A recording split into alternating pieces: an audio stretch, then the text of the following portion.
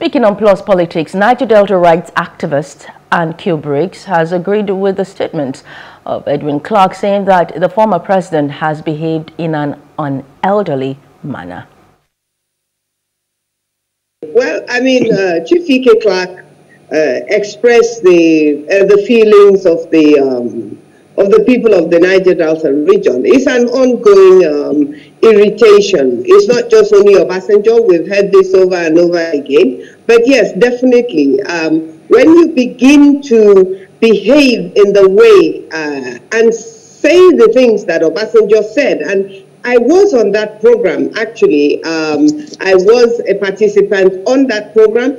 Uh, he came late to the program. Uh, the gentleman, the secretary of the Ijaw National Congress, um, was expressing the position of the Ijaws. And he started banging on the table and shouting, literally, just behaving very on statements like, on elderly like. And what really just boils down to the fact that the Niger Delta people, and particularly the Ijaws, feel very aggrieved by Obasanjo. Let's not forget that he destroyed Odi. He completely destroyed Odi in the year 2000 and killed thousands of people in the quest of looking for uh, people that uh, had killed uh, policemen. Yes, we that uh, that was the issue at that time. That to raze down a whole community because you're looking for seven youths. That's over and above the call of um, of of what he was supposed to do. So yes, I agree with Chief E.K. Clark that um, we feel that Obasanjo has a very special